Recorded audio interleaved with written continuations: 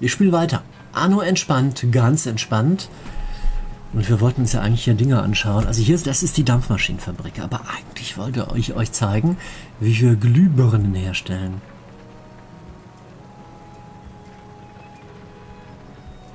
Die fahren wie die Henker hier. Was ist das hier? Ja, hier werden die Kohlefäden hergestellt. Für die Glühbirnen. Und heutzutage werden die Glühbirnen schon wieder aussortiert. Von der EU verboten. Ist nicht effizient genug. Verstehe ich gar nicht.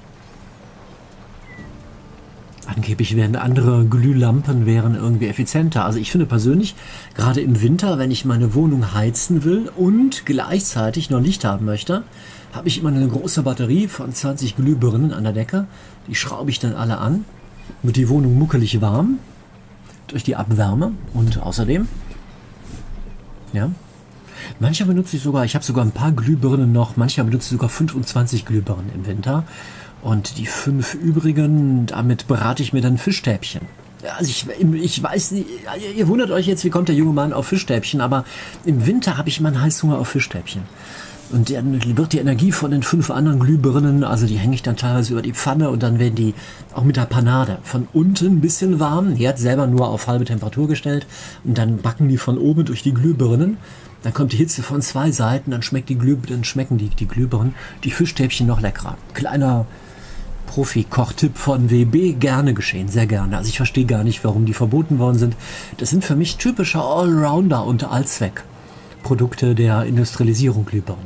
Kann man für so viele verschiedene Dinge benutzen. Kann man auch benutzen als Wachanlage zum Wachschutz. Ähm, um, damit man vor, vor Einbrechern keine Angst haben muss. Einfach ein paar Glühbirnen hinlegen, hinstreuen in der Nacht vor die Eingangstür, kommen ein, oder vor die Fenster, wenn die Einbrecher durch die Fenster krakeln, treten rauf, hört man laut knallen. Ja, kann man vielseitig verwenden. Hier lernt man fürs Leben gerne geschehene Jades, sehr, sehr gerne. Sehr gerne. Also hier werden die Glühfäden hergestellt.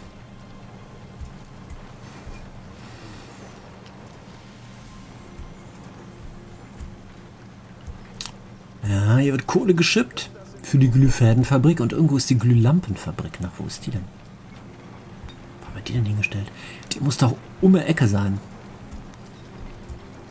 Ist das die hier?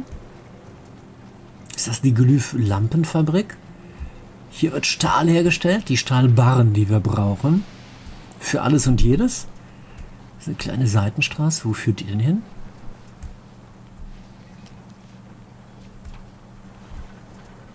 Glühbirnen überall, hier oben auch.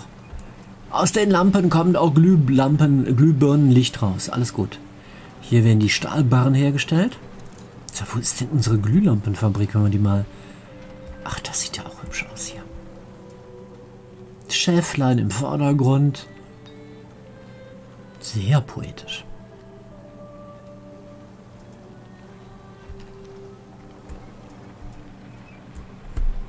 Wo ist denn die Glühbirnenfabrik? Das ist hier, ne? Das ist die Glühbirne. Aber wir standen direkt davor und haben sie nicht gesehen. Das war die Fensterfabrik. Das war die Glashütte. Das ist die Glühfädenfabrik. Ach, ich bin zu weit gelaufen. Ich bin am Gebäude vorbeigelaufen.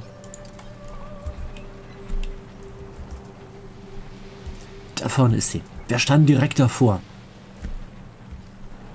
Das ist sie.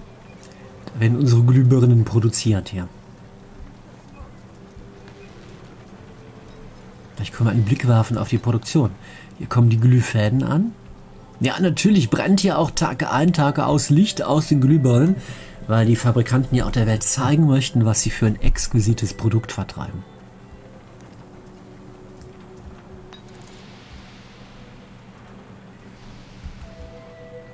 Nein, ihr müsst euch keine Sorgen machen, dass der Arbeitsschutz bei mir nicht eingehalten wird.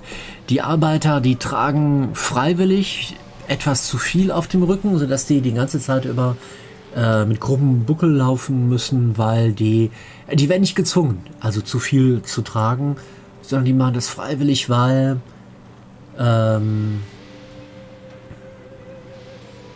sie wissen, dass nach jedem Berg auch ein Tal kommt nach jedem, nach jeder Nacht auch Sonnenschein. Lass uns mal in der neuen Welt weitergucken, wie es den Menschen da geht. Die werden noch nicht ausgebeutet, da ist alles gut. Also das funktioniert, das ist alles bestens, aus der Nummer komme ich nicht mal raus. Das hier vorne sind unsere Ingenieure. Jetzt kommt das Stufen-Upgrade zu den Investoren, bitte. Taschenuhren noch nicht. Wenn genug Gold da ist, starten die dann, dann die Bankhäuser. Taschenuhrencheck, haben wir Gold da. Wie viel Gold ist mittlerweile da? Gold wird importiert aus der neuen Welt. Blick ins Kontor. Goldvorräte, 59 Gold da. Wir können anfangen, wir können loslegen. Es sind allerdings auch Schiffe vor auch da, die wir noch nicht entladen haben, glaube ich. Hier, die Südsee bringt Unmengen an Baumwollstoff vorbei. Sehr schön. Klasse. Fein. Ein Schiffchen packen wir mal in der neuen Welt. Das kann nie schaden.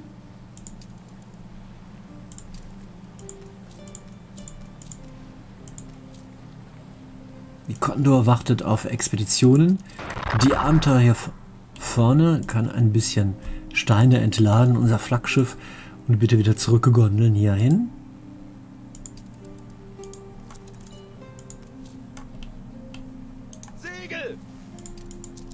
So.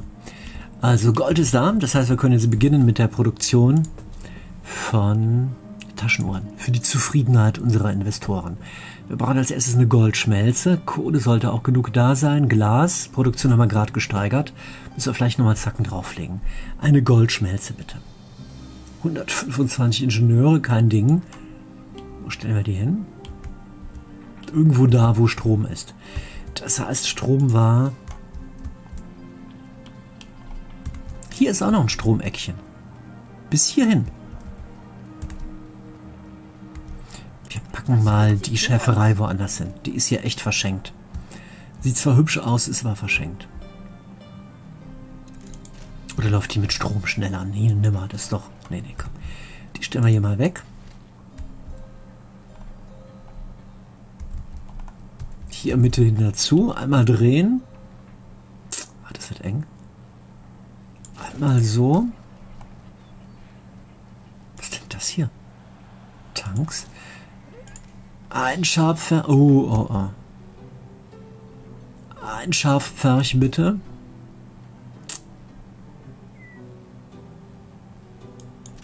Das wir ein bisschen anders hier.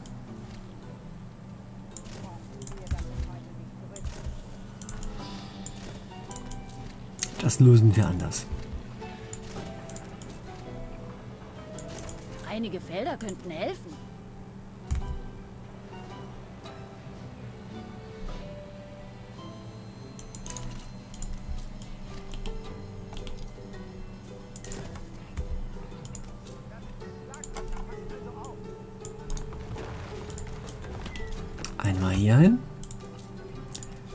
Einmal drei reichen. Hier die Straße runter. Das sieht ja schrecklich aus. Sieht total doof aus.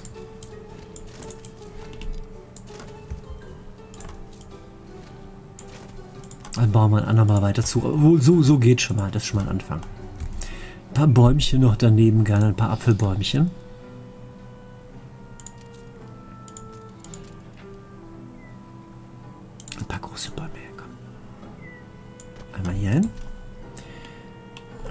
Wie kommen die denn an den Bäumen vorbei zu den anderen Schafspferchen? Äh, ich weiß es gerade auch nicht. ähm, über Wege, über Gras. Über das Gras können die rüberlaufen. So geht's. Das sieht so romantisch aus. So kann man arbeiten. Das sieht sogar hübsch aus hier. Ja, wir geben dir noch einen kleinen, ein bisschen Wasser für die Schafe. Jetzt kommt hier oben die Goldschmelze hin. Alles für die Taschenuhren. Boah, ist die klein. Die ist ja winzig. Die passt ja überall hin. Wenn ich das geahnt hätte. Da passen, da würde ich lieber ein großes Gebäude nachher reinsetzen.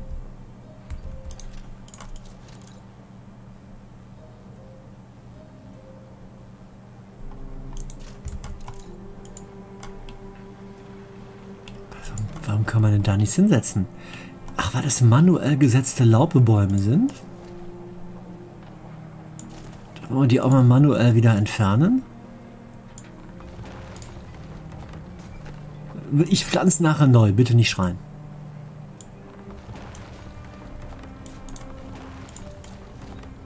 Erst erstmal hier hin.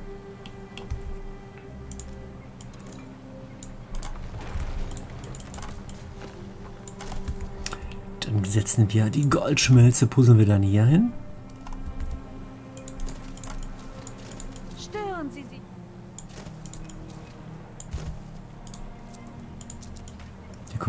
Rauf und noch andere Sachen mit Strom anschließen. Und hier setzen wir nachher irgendwas anderes hin. Eine Goldschmelze, jetzt kommt die Uhrenwerkstatt. Die braucht auch Strom. Die stellen wir direkt daneben hin. Die wird allerdings erstmal pausiert. Die ist nämlich schweineteuer und du brauchst erstmal das ganze Zeug her. Stell erstmal ein paar Goldbarren auf Vorrat her. Es bildet sich bereits eine Staubschicht.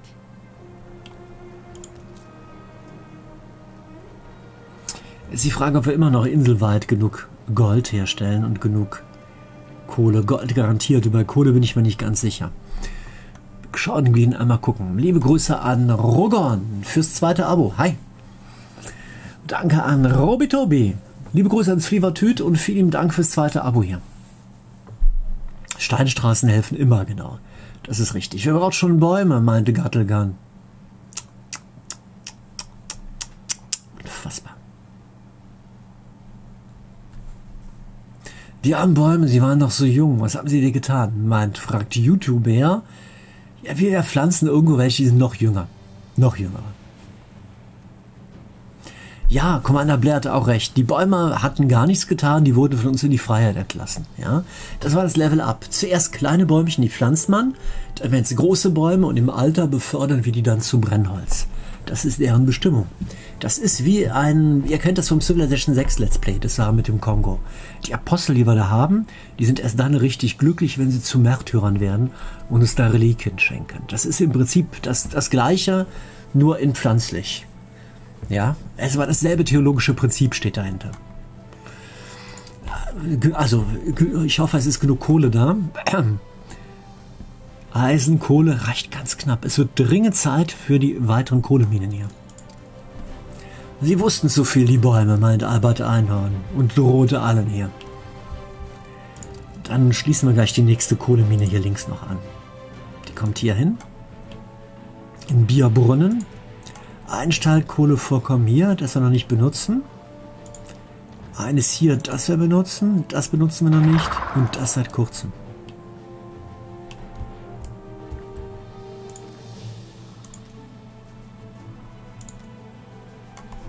Schließen wir das hier mal an.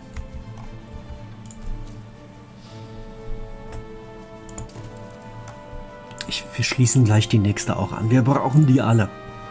Ist nur eine Frage der Zeit. Da, apropos, dann brauchen wir natürlich hier auch ein Lagerhaus. Oder reicht das bis hier unten hin? Knapp, aber reicht. Kann man machen. Ist nicht perfekt, aber geht. Liebe Grüße an Obsistar.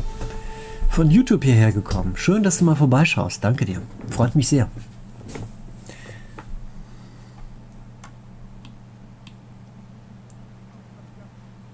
...616, 66 Zuschauer und Zuschauerinnen im Chat. Danke für den Hinweis. Schnell, Schnapszahl. Wer eine hat, eine BB-Tasse im Chat hochhalten. Schnaps wird ausgeschenkt von Black Panther, dem Chat-Moderator. 677, die nächste Schnapszahl, direkt dahinter. Einen doppelten für alle.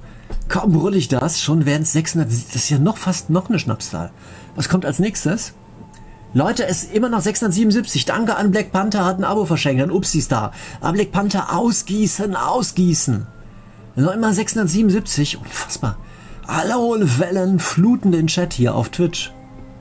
660 aus, aus, alles aus, Deckel drauf, das war's, Leute. Deckel drauf. Jetzt nicht mehr, jetzt nicht mehr. Ab jetzt nur noch Mineralwasser oder Leitungswasser. Kohle wird weiter abtransportiert. Black Panther schreibt, ich mach doch schon, bin voll dabei. Hör mal, Black Panther, du sollst voll dabei sein im Sinne von, ich mach das, ich bin, ich mach das voll mit. Aber nicht, du sollst nicht voll dabei sein. Die sollen sich voll laufen lassen. Du nicht, Black Panther. Du musst nüchtern sein. Wenn man Alkohol ausschenkt, muss man selber nicht besoffen sein, Black Panther. Ich mach da schon voll dabei. Also echt Matze. Du hast das völlig missverstanden hier, das Prinzip, was man, was man hier voll mitmacht in der Situation. Also komm, ich bin erschüttert. Zu Recht. Man lässt uns hochleben in Perlenpuff. Meiner Bescheidung meiner völlig zu Recht. Auf Ihren Befehl. Ein Schiff ist angekommen. Alles gut. Leute, es läuft. Und sobald wir hier genug Glühbirnen haben, in Bierbrunn, pardon, in Bierbrunn, in Bullshaven, geben wir unseren Ingenieuren ein Upgrade.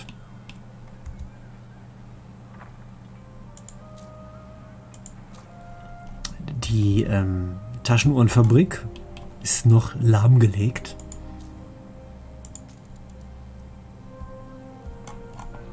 Haben wir genug Gold mittlerweile im Lager? Insellager? Neun? Ich glaube, wir können starten. Uhrenwerkstatt, produziert, jetzt!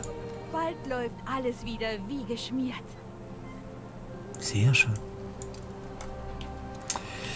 So, und dann schauen wir mal, ob wir genug Glas haben dafür. Ja, ob wir genug Quarz haben. Bestimmt, das war auf Vorrat. Ja. Wunderbar, ich bin total begeistert. Alles funktioniert. Sehr schön. Sehr, sehr gut. Jetzt warten wir noch ein bisschen ab. Dann machen wir hier das Upgrade. Wir könnten ein paar Quests erfüllen in der Zwischenzeit und oder wir könnten auch schon die Expedition starten.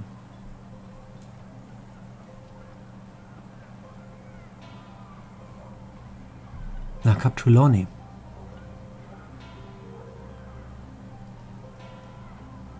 Denn ich will ja, also ein paar Ingenieurshäuser packen wir hin, aber das wird nicht die Hauptstadt. Die echte Hauptstadt kommt in Captuloni rein durch den DLC. Die riesengroße, dieser, dieser Halbkontinent, dieser, das ist ja gar keine Insel, das ist eine, eine riesige Landmasse. Wie, wie Indien, klebt an irgendeinem Kontinent dran und ist ein Subkontinent, ein Subkontinent in Captuloni. Starten wir die Expedition? Ach komm, Bei der Andopartie ohne diese super große Insel kann ich mir schwer vorstellen. Außerdem kann man ohne diese Insel auch keine schönen Spaziergänge machen, weil es da tolle Plätze gibt für Spaziergänge. Wir starten eine Expedition auf den Spuren ihrer Majestät. Ich werde dann mal die alte Seekiste durchwühlen. Die Königin ist verschwunden. Sir Archie, man nennt ihn auch Sir Popo, bittet sie, sie auf Land und See zu verfolgen und herauszufinden, was die Königin aller Welt vorhat. Wir machen das. Wenn Sir Popo befiehlt, sind wir dabei. Wir brauchen Rationen, Jagdglück, Redegabe, die habe ich, und Navigation, die fehlt mir manchmal. Belohnung neue Region. Bin ihm natürlich dafür. Ähm, oh Gott, wie heißt das nochmal? Wie?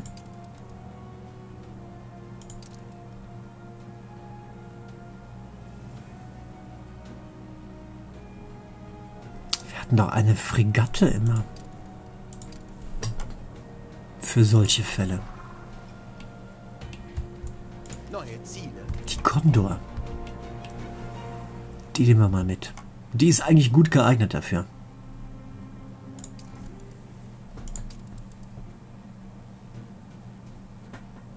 Moral intakt. Ich werde niemals seekrank. Fregatte, Kanonen an Bord, Schnaps an Bord, Bretter und so weiter. Redegabe ist dabei, Navigation, Rationen durch den Schnaps.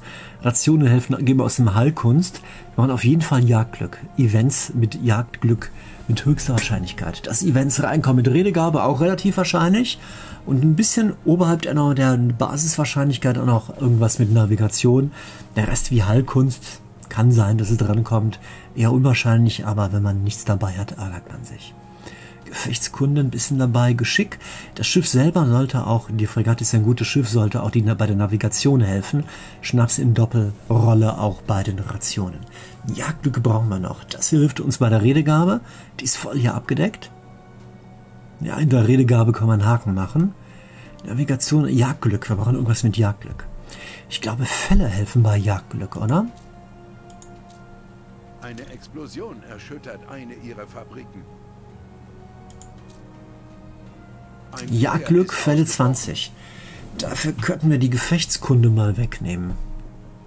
Oder wir schauen erstmal, was wir an Schiffsitems haben, die wir in die Slots hier unten reinpacken können. Gefechtskunde 30, Redegabe 30 ist wichtiger, Gefechtskunde 25. Ja, da sind wir eigentlich ganz gut aufgestellt. Dann packen wir, wir können Gefechtskunst reinpacken und die Kanonen rausnehmen. Gefechtskunst 30 packen wir hier mal rein. Dann nehmen wir bei den Waren die Kanonen raus, weil die Gefechtskunde jetzt von unten gedeckt wird. Und nehmen hier das Jagdglück dazu.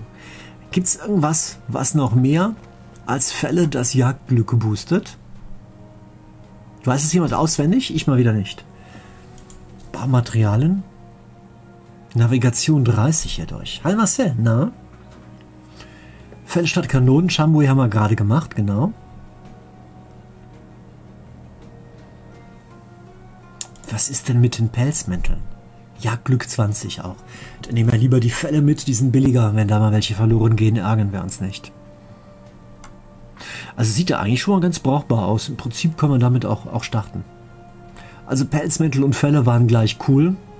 Dann nehme ich die billigere Variante mit. Ich glaube, so können wir loslegen. Das Einzige, wo ich gerade drüber nachdenke, ist die Navigation, weil die unterstützen wir nur über Schiff im Augenblick. Wir könnten auch sagen, wir nehmen was raus, was gar nicht unbedingt gefragt wird wie die Gefechtskunde, weil Gefechtskunde ist ja auch in der Fregatte mit dran. Die Fregatte liefert die wahrscheinlich auch und geht stattdessen lieber und boosten stattdessen die Navigation noch extra. Ja, schauen, ob wir ein Segel geben wir Geschick. Was ist gut bei Navigation?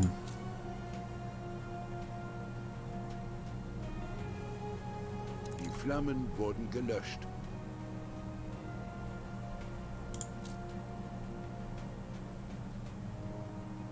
Dampfmaschinen. 30 Navigation. Top. Ach, das ist ein Itemsockel, da geht das nicht. Äh, dann geht das nicht. Ja, dann ist die Idee Quatsch. Dann müssen wir alles wieder zurück. Wir könnten höchstens hier, das die bauen wir hier oben, die Redegabe ist durch unten gedeckt. Wir könnten auf die Heilkunst verzichten. Wir könnten Heilkunst gegen Navigation austauschen. Aber das ist, sind auch die Proviante. Und das ist Geschick. Wir können das Geschick wegnehmen. Oh Gott, jetzt habe ich das Falsche rübergeworfen hier. Geschick fliegt raus. Ach, das geht nicht, weil die Bretter voll sind. Jetzt muss ich das manuell einmal über Bord schmeißen. Wir schmeißen einmal kurz die Bretter über Bord. Die schwimmen hier, denen passiert schon nichts Schlimmes. Können die, wenn ihr möchtet, auch einmal an Land, an Bord wieder nehmen mit dem Schiffchen hier. Und jetzt packen wir hier stattdessen die Rationen wieder rein, den Schnaps. Also Schnaps und Heilkunst darüber. Navigation hier oben für, Jagdglück hier unten, das gibt Redegabe. Dann wollten die Kanonen unten, dann wollten wir ein Item unten wieder reinschmeißen, nämlich das Gefechtskunde-Item Kleinhaubitze. Und startklar. Proviante brauchen wir immer, Chambry, so ist es. Schnaps ist auch Ration. So sind wir, glaube ich, gut aufgestellt. Hisst die Segel, ihr Männer! Hisst die Segel, ihr Weiber! Hisst die Segel, ihr Schiffsraten, Schiffsjungen, Schiffsratten auch, alle. Sogar die Schiffskälber und die Schiffsbullen. Alle, alle Schiffskühe auch. Alle, alle Segel setzen. Aber in die Wanden. Gott, ich bin so froh, dass ich in der Zeit nicht gelebt habe. Schade, dass ich über das wäre mir echt zu anstrengend dann so angeschnauzt zu werden von irgendwelchen Herrschaften hier. Es läuft Abfahrt. Nein! Wieder zurück? Was ist denn hier los? Irgendwas ist über Bord gegangen. Was ist denn hier los? Ich war doch gerade mitgestartet. Alle Items sind wieder weg. Was ist denn hier los? Was ist denn hier gerade passiert? Noch alles wieder weg. Was ist denn hier los? Nochmal starten auf den Spuren ihrer Majestät. Schiff zuweisen. Einmal Condor. Wo ist der Schnaps gelandet? Meuterei wird im Chat ge... Schnaps wieder rein? Schnaps war schon da. Was hatten wir? Ich habe alles wieder durcheinander. Was ist denn hier los? Fälle wollten wir reinpacken. Fälle, Schnaps, Gefechtskunde, Item. Na, das ist ja alles wie eben wieder. Das ist ja alles wieder durcheinander geraten hier. Das sollte raus. Das kommt hier hin. Was war oben das dritte? Das ist ja echt erschütternd hier. Es ist alles wieder durcheinander. Alles wieder total konfus hier. Dampfmaschinen, danke an Shamway. Dampfmaschinen hier hin. Navigation, Heilkunst und Rationen, Jagdglück. Ja, jetzt haben wir es wieder, so wie eben, ne? Ich hoffe, jetzt passt alles. Fälle sind drin, ja, alles gut. Es liegt am Schnaps da, die Verwirrung, meinte Albert Einhorn. Ich versuch's nochmal. Und die erste Expedition starten bitte.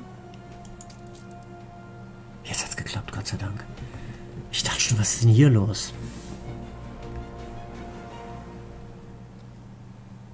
Rammt noch ein anderes Schiff bei der Abfahrt?